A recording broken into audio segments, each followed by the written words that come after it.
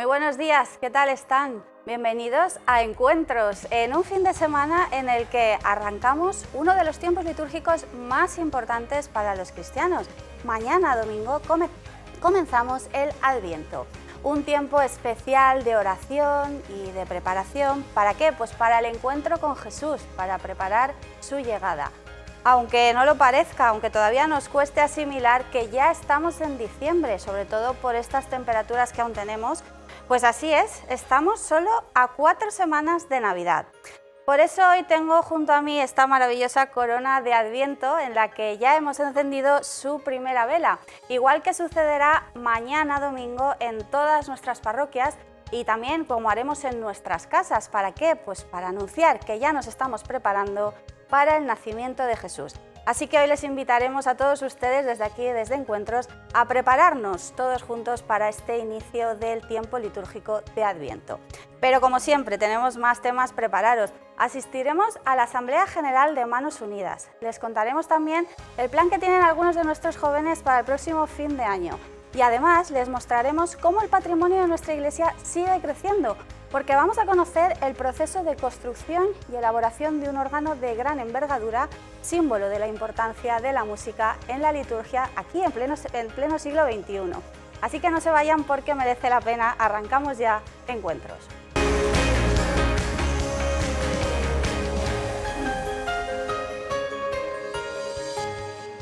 Pues comenzamos el año litúrgico e iniciamos el tiempo de Adviento, un tiempo, como decíamos, de oración, de reflexión y de preparación para el nacimiento de Jesús, para la celebración de la Navidad.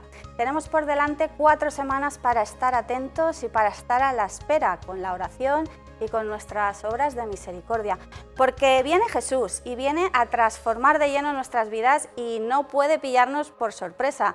Como nos dice nuestro arzobispo, el ambiente previo de estas fechas es de celebración y de mucha preparación, pero tenemos que centrarnos en lo importante, para vivir estas fiestas siempre con ojos de fe. Para acoger a Jesús lo importante no es que preparemos muchas cosas, sino que nos preparemos a nosotros mismos. Crear comunión donde haya división y sembrar perdón donde haya ofensas, nos dice don Enrique Benavent en su carta de esta semana. Pues para seguir las recomendaciones de nuestro arzobispo y prepararnos bien en este tiempo, hemos hablado con Edgar Esteve, delegado de liturgia del arzobispado, que nos recuerda el significado del Adviento y nos cuenta algunas particularidades de este año. Vamos a escuchar. Comenzamos en la iglesia el tiempo de Adviento, un tiempo marcado por la espera de la celebración del nacimiento de Jesús el Salvador, que tendrá lugar el próximo día 25 de diciembre, día de Navidad.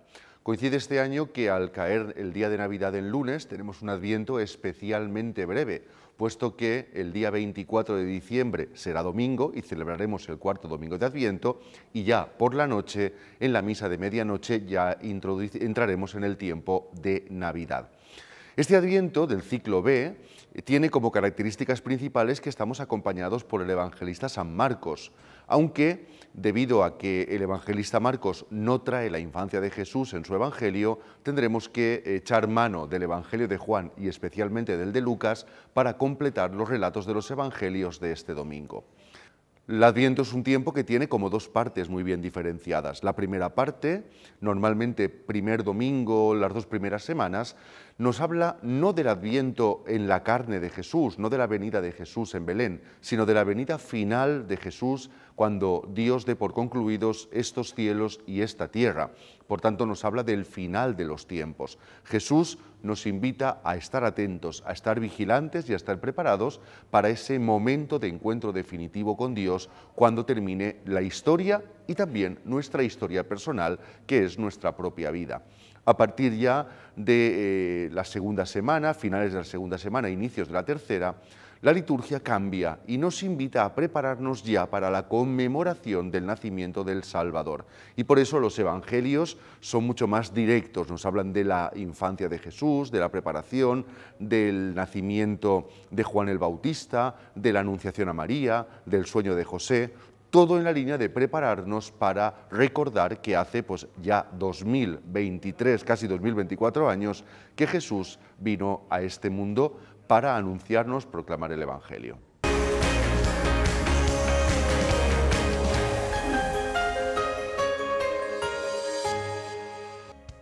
Vamos con otro tema, porque Manos Unidas Valencia ha celebrado esta semana su asamblea anual en ella ha presentado su campaña para el próximo año 2024 que llevará como lema El efecto ser humano, que incide en los efectos de la injusticia climática en los más vulnerables. Y es que el cambio climático tiene efectos devastadores en millones de personas que no pueden subsistir pues a causa de las sequías, de las lluvias torrenciales o de la infertilidad de sus tierras. Como dice el Papa Francisco, el consumismo inmoral ha llevado a la sociedad a un comportamiento que provoca la degradación continua del medio ambiente y eso está en nuestras manos. Así lo señalaba también el conciliario de Manos Unidas Valencia, el sacerdote José Domenech, que aseguraba que frenar la desigualdad no solo está en nuestras manos, sino en el corazón de cada uno de nosotros. Vamos a escucharlo. En el fondo, frenar la desigualdad está en las manos y en el corazón de cada uno de nosotros. Porque es el corazón el que mueve las manos. Las manos representan la capacidad de hacer de la persona. El hombre modela y construye con sus manos, símbolo de su acción. Y el corazón es el centro de la persona, donde se juega quiénes somos, nuestra esencia. Es en el corazón donde se juega el partido de lo que haremos con nuestras manos. Las manos no son nunca un problema, pero al corazón es a veces inconstante, se desanima, lleva mal la frustración, el fracaso, el ridículo, se siente débil. La parálisis de las manos viene precedida de la parálisis del corazón. Si el corazón se siente así, las manos no frenarán ninguna desigualdad.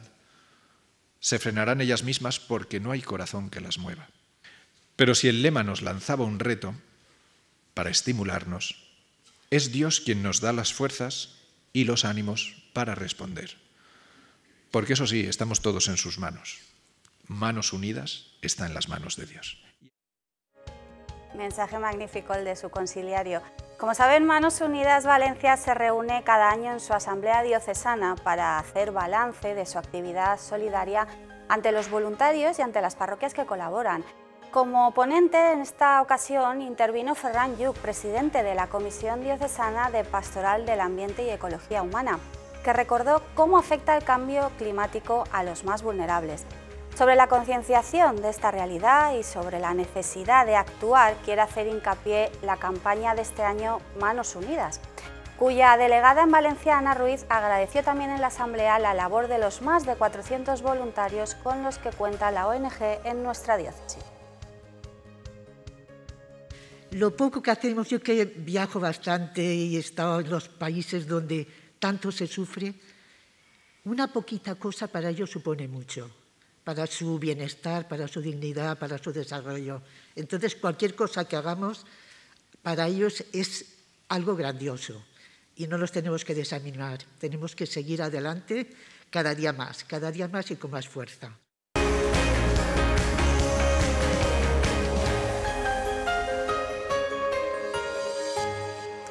Año más, miles de jóvenes de diferentes nacionalidades de todo el mundo se reunirán en fin de año en el Encuentro Europeo organizado por la Comunidad Ecuménica de TSE.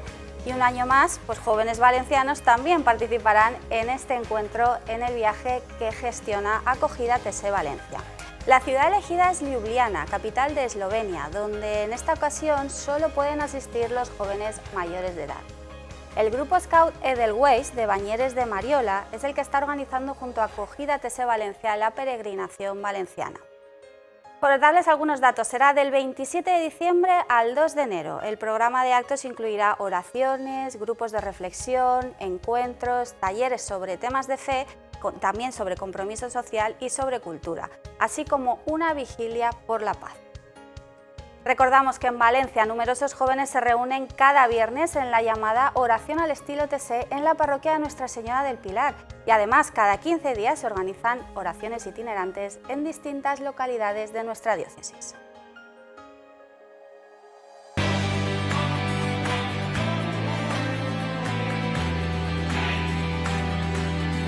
April 1st, 2024, we will be welcomed in the capital of Slovenia, Ljubljana.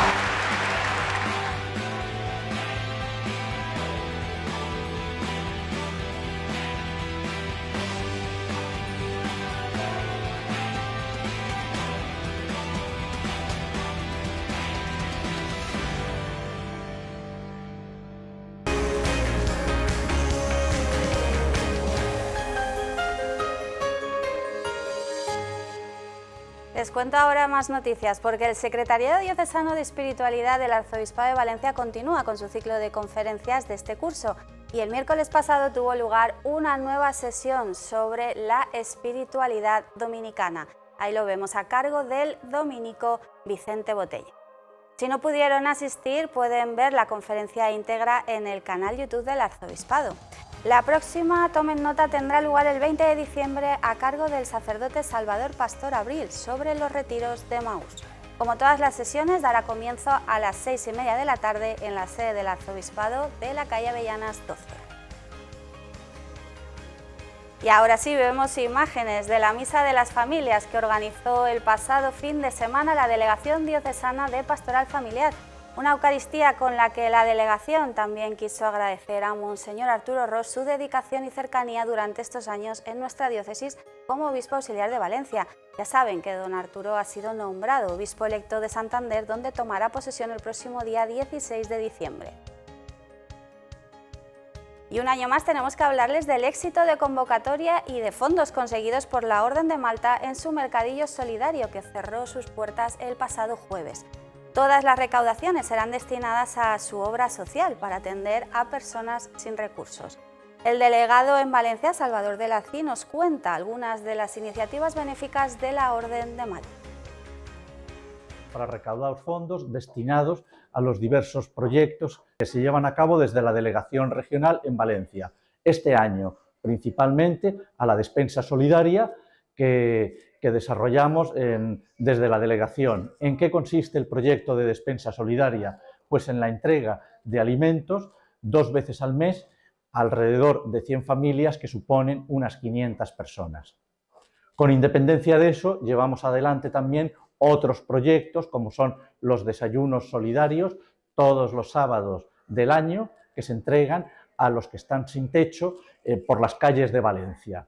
Tenemos también el, ropero solidario con la entrega de ropa a todos estos que vienen, a todas estas personas que vienen a recoger los alimentos. Asistimos también a las ancianas, a, a personas mayores que están en situación de desamparo, pues con la asistencia todos los jueves del año en delegación por un grupo de voluntarios eh, que, dirige la secretaria de la delegación y que les permiten pues, el, estar entretenidos, el poder eh, realizar manualidades, eh, llevar adelante trabajos y conocer todo lo que es los, los proyectos de informática actuales. Quiero en este momento resaltar la función del voluntariado, que es muy importante para llevar adelante todos los proyectos sociales. Pues ahí hemos visto la labor de la Orden de Malta. Vamos con más noticias porque la Mare de Deu continúa con su recorrido visitando a miles de devotos. Aquí vemos imágenes del pasado fin de semana, cuando visitó la ciudad de Alicante con motivo del 25 aniversario de la coronación de su patrona, la Virgen del Remedio. Esta tarde la imagen peregrina de la Virgen de los Desamparados viajará a la provincia de Castellón, donde mañana presidirá una misa de campaña en la aldea de Benitandus, en la Alcudia de Beo. Y la próxima semana celebraremos la Inmaculada. La catedral acogerá el viernes la solemne celebración, por la mañana la Eucaristía y por la tarde la procesión claustral. La víspera, el jueves, tendrá lugar la vigilia que será presidida por el arzobispo en la Basílica de la Virgen. Tomen nota, será a partir de las 10 de la noche, con la intervención del coro diocesano de Junios. Y después de la vigilia, todos los participantes compartirán un chocolate en la iglesia de San Lorenzo frente a las Cortes Valencianas. Todo esto organizado por la Delegación de Juventud. Y ya saben que si quieren ver más imágenes de estas u otras noticias pueden hacerlo en nuestro canal YouTube. Suscríbanse, es muy sencillo, youtube.com barra archivalencia. Ahí también colgamos en apenas unos minutos este programa. Pero conocer más sobre estas y otras noticias también es muy fácil. Les proponemos dos opciones para informarse de una forma más rápida de los próximos eventos y actos. Tienen a su disposición la web del arzobispado, archivalencia.org. Pero si quieren profundizar en cada tema y disfrutar del trabajo de nuestros fotógrafos con las mejores imágenes, no duden en suscribirse a la revista Paraula, tanto en papel como en formato digital.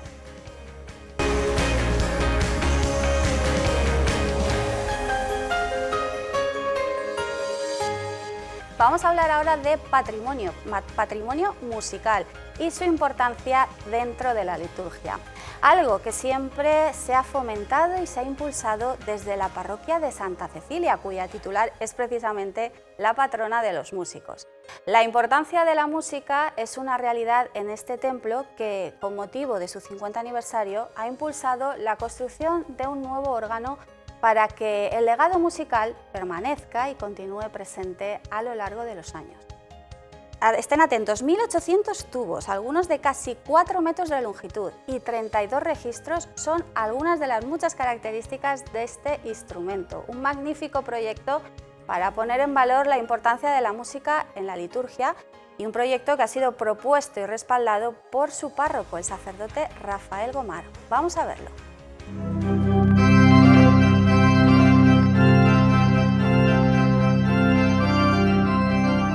La parroquia se fundó en el año 72 y cuando llegó el año 2022, juntamente con el Consejo de Pastoral y el Consejo de Economía, pues vimos la importancia que tendría que esta parroquia de Santa Cecilia tuviera ni más ni menos que un órgano, un órgano de tubos.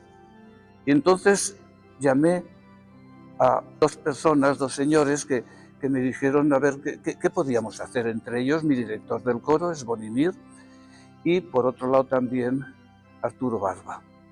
Y bueno, pues ellos ya me presentaron al organero, presentaron el proyecto y la verdad es que estoy muy ilusionado.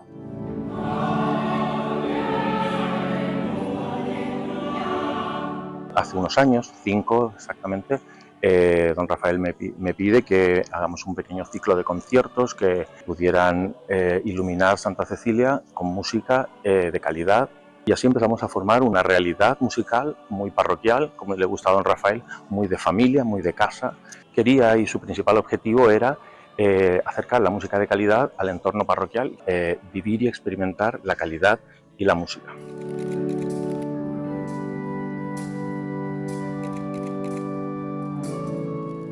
Esto es un instrumento eh, pensado y diseñado específicamente para la parroquia. Lo primero que hicimos cuando nos convocó don Rafael fue eh, venir a conocer el sitio, las características, la conformación, el área volumétrica que tiene. Y entonces a partir de ahí pues empezamos a, digamos, a cavilar qué instrumento podíamos eh, requerir para la, para la parroquia. Independientemente a eso también empezamos a buscar una estética, una estética que fuese funcional, que fuese distinta. Queríamos algo que fuese eh, llamativo, bonito, pero al mismo tiempo diáfano, acorde al entorno, que no violentara visualmente el orden, eh, digamos, estético de la, parroquia.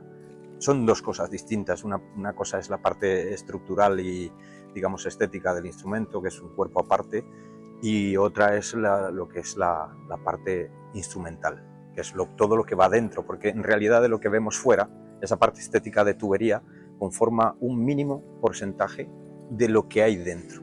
Proyectos de estos muchas veces surgen encima de la mesa, pero es verdad que, que luego se materialicen con la facilidad, con la ilusión, con la rapidez que ha tenido lugar en Santa Cecilia, es muy extraordinario, ciertamente.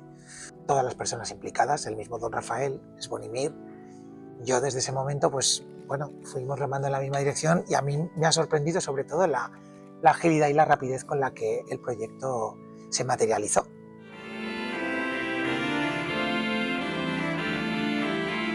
Es un instrumento donde tenemos elementos muy arcaicos de funcionamiento, o sea, elementos que se utilizan desde casi los orígenes del instrumento en sí, hace más de 2000 años, como son las ventillas de paso de viento, o sea, tenemos elementos totalmente los más modernos del, siglo, ya acorde al siglo XXI. Bueno, pues es un instrumento de, planta moderna, eh, sentido sonoro eh, bastante ecléctico, porque con este tipo de instrumentos se pretende, además de abarcar eh, su función primordial, que es la liturgia, pues se pretende darle un uso también cultural y concertante, donde el instrumento puede abarcar un amplio repertorio de diferentes épocas, diferentes estilos musicales, compositores, etc. Tenemos tubos de, gran envergadura, de 3 metros, casi 4 metros, hasta tubos muy pequeñitos que apenas miden un centímetro y medio. El órgano tiene muchas tesituras, eh, abarca una gran tesitura de sonoridades, desde sonidos muy muy graves y muy profundos hasta sonidos muy muy agudos y estridentes. Y aparte de eso también tiene muchos tipos de timbres, intenta, imitar las diferentes sonoridades eh, de, lo que es una orquesta, digamos. ¿no? Tenemos sonidos de trompeta, tenemos sonidos de clarinetes, tenemos sonidos de oboe. La intención es crear un, gran colorido de, sonoridades para agradar, eh, en fin, para, para la interpretación.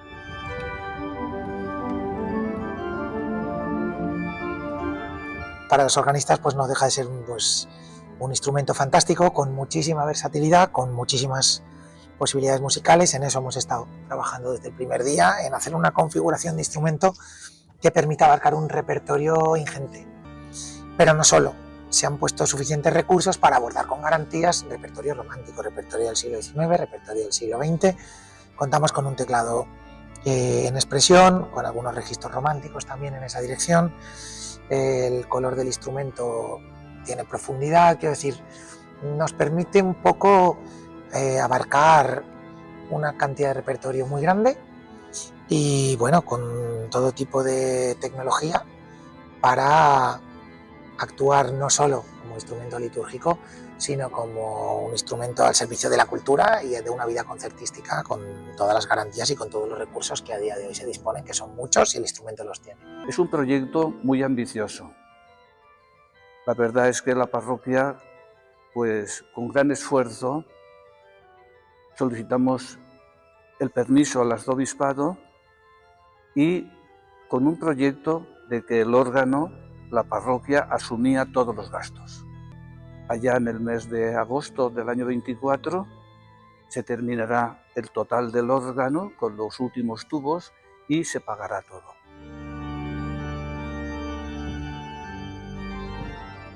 Estamos muy contentos. De hecho, nuestra temporada de conciertos este año, esta temporada, la sexta temporada, se teñirá absolutamente del órgano y todos los conciertos que tendremos este, esta temporada serán a la luz de nuestro nuevo instrumento, sin alejar y sin olvidar nunca que es un instrumento para la liturgia y que será su principal uso.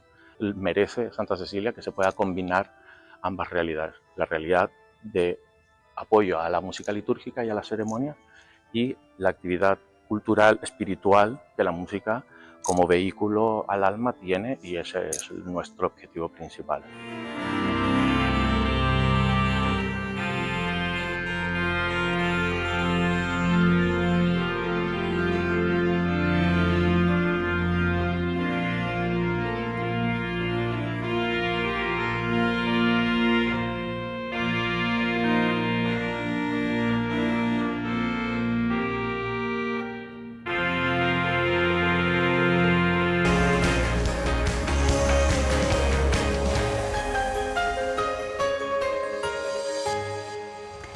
Las personas con discapacidad son las protagonistas de la intención de oración que nos propone el Papa Francisco para este mes de diciembre que mañana comenzamos. El Santo Padre nos pide que recemos para que las personas con discapacidad estén en el centro de atención de la sociedad y que las instituciones promuevan también programas de inclusión. Vamos a escuchar.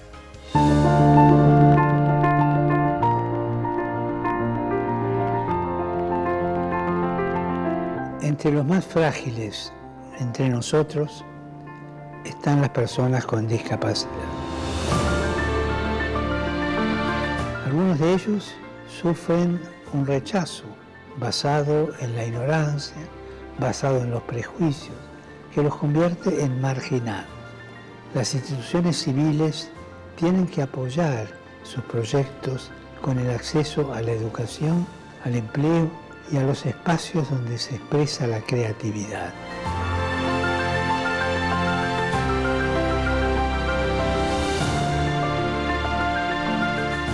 Hace falta programas, iniciativas que favorezcan la inclusión. Y sobre todo hacen falta corazones grandes que quieran acompañar. Y es cambiar un poco nuestra mentalidad para abrirnos a las aportaciones y abrirnos a los talentos de esas personas con capacidades diferentes.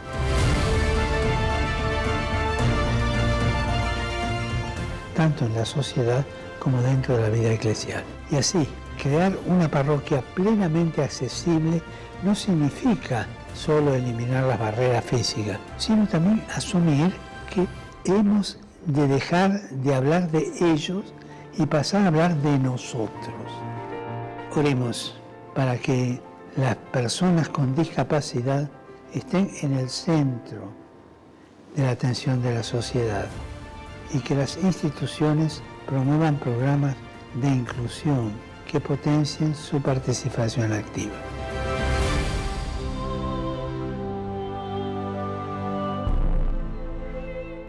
Pues este era el mensaje del Papa Francisco para el mes de diciembre, que no comenzamos mañana, me he equivocado, ya lo hemos comenzado. Lo que sí que comenzamos mañana es todavía más importante, es el tiempo de Adviento. Así que recuerden encender sus velas de la corona de Adviento y preparémonos todos para la llegada de Jesús y la Navidad. Hasta aquí nuestro tiempo de encuentros. Nosotros les esperamos en el próximo programa. No nos fallen aquí en la 8 en Encuentros. Hasta entonces, sean felices.